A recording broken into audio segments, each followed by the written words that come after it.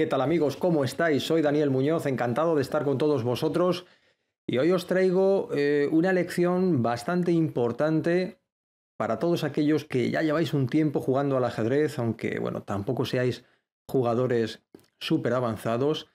Y mi propósito en esta lección es mostraros cómo a veces vuestra mente os engaña, cómo a veces os impide tratando de ser eficaz, no porque penséis mal, no porque hagáis las cosas mal, sino que vuestro cerebro trabaja para ayudaros, pero muchas veces esta forma de pensar, esta forma de hacer las cosas fáciles os impide encontrar soluciones que son necesarias para jugar bien al ajedrez.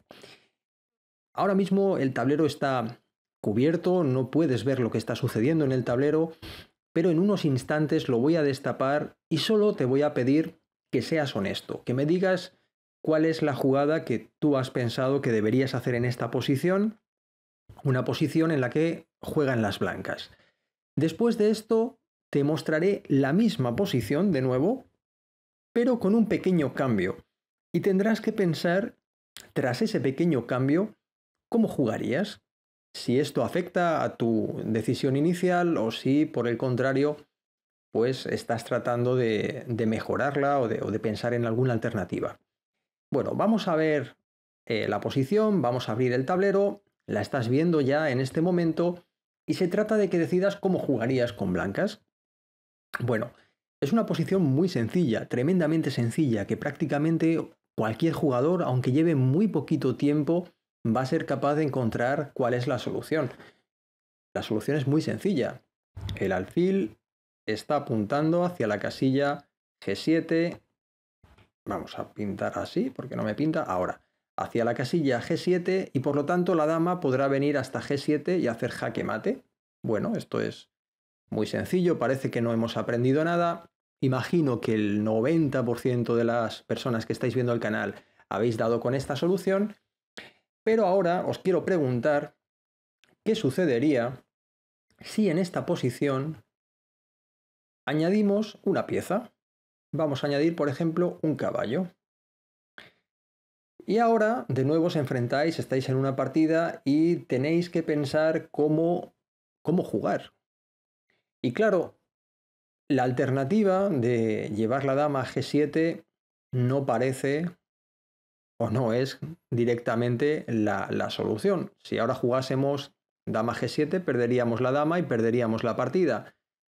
Por lo tanto, cuando mostramos esta posición a alguna persona, incluso se la mostramos eh, desde este punto de vista, enseguida se da cuenta de que esta es una posibilidad y por lo tanto, como esta posibilidad falla porque existe un caballo en E6, trata de buscar alternativas, explorar opciones para forzar que esta solución eh, funcione. ¿Por qué?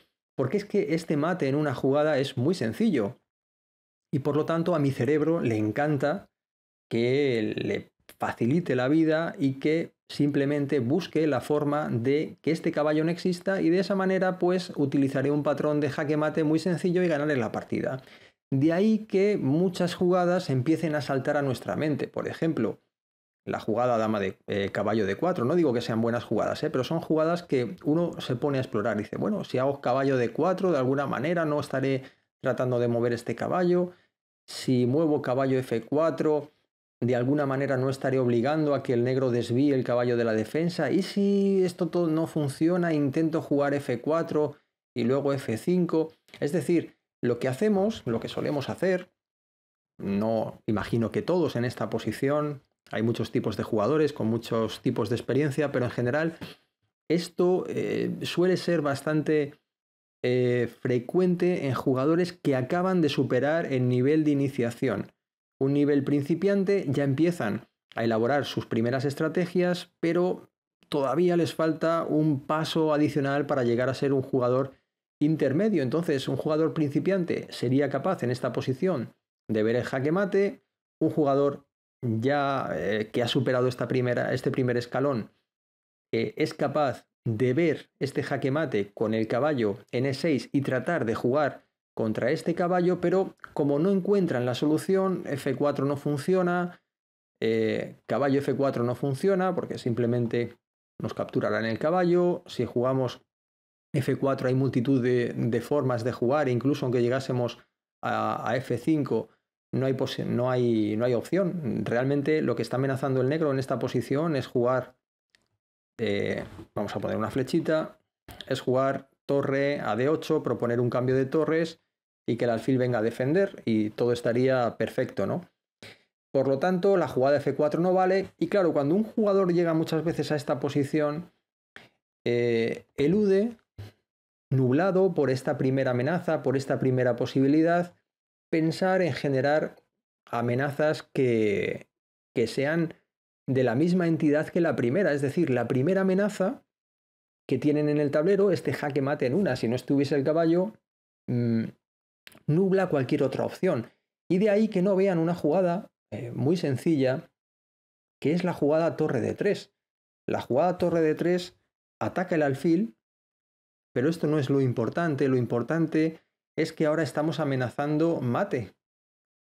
Es decir, si ahora jugásemos con, eh, con blancas, voy a hacer cualquier jugada, podríamos realizar la jugada dama por h7 y tras rey por h7, torre h3, el rey únicamente podría venir a g8 y jaque mate. De ahí que tras la jugada torre de 3, ahora tengamos en el tablero no solo una amenaza latente, es decir, la original, que la seguimos conservando, es decir, el caballo sigue estando condicionado en su movilidad a la defensa del punto G7, hemos creado una segunda amenaza distinta completamente, la captura del alfil, y una tercera amenaza, que es la más potente de todas, que es el pase de la torre por H3 a iniciar actividades ofensivas sobre la columna H, como os he explicado. Y ahora, en esta posición, lo que habríamos conseguido es, de alguna manera, que con una jugada hubiéramos mantenido tres opciones posibles. Esta es una posición que ya está completamente perdida. El negro no puede hacer nada, no hay ninguna jugada que le permita eh, mover el alfil y defender el mate. Cuestión distinta sería si en esta posición tuviésemos la torre, por ejemplo, en, en E8, en esta posición, tras torre de 3, alfil F8 y no podríamos hacer jaque mate. Esta dama tendría que buscar alguna alternativa. Podríamos seguir conservando opciones de ataque, pero sería insuficiente para decir que hemos ganado, ¿no? Como, como estamos viendo. Y además, em, sucede también, vamos a colocar la posición original, que eh, muchos jugadores también, aparte de todo esto que te acabo de explicar, eh, ven em, nublada em, su forma de jugar por el material, es decir, por, por el déficit de material. Eh, es decir, en este momento el blanco tiene cuatro peones, el negro tiene cinco, es decir, el blanco pierde de un peón y por lo tanto eso como que de alguna manera nos arrastra a pensar que, bueno, si este mate no funciona y encima tengo un peón de menos, más me vale que lo haga funcionar, porque si no voy a jugar toda la partida con un peón de menos. Y claro, se atoran, se atoran con este pensamiento, que es otro pensamiento parásito que te impide clarificar tu mente y eh, no poder progresar. Por lo tanto, mi consejo es que si eres incapaz de hacer funcionar esta primera amenaza, trates de explorar nuevas opciones que no tengan en cuenta eh, el forzar que esa primera amenaza eh, funcione, porque muchas veces eso lo que hace es nublar nuestra mente y que definitivamente pues no puedas encontrar opciones que son totalmente útiles para ti.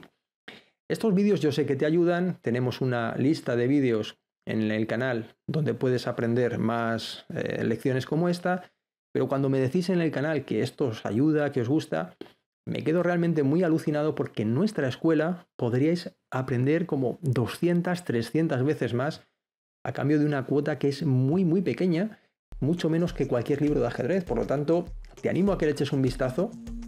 Vas a tener 14 días gratis para probarla y creo sinceramente que y en confianza vas a mejorar de manera garantizada tu nivel de ajedrez. Así que te dejo el enlace en la descripción del vídeo y te espero también en próximas entregas aquí en The Blog. Un cordial saludo amigos y hasta muy pronto. ¡Chao!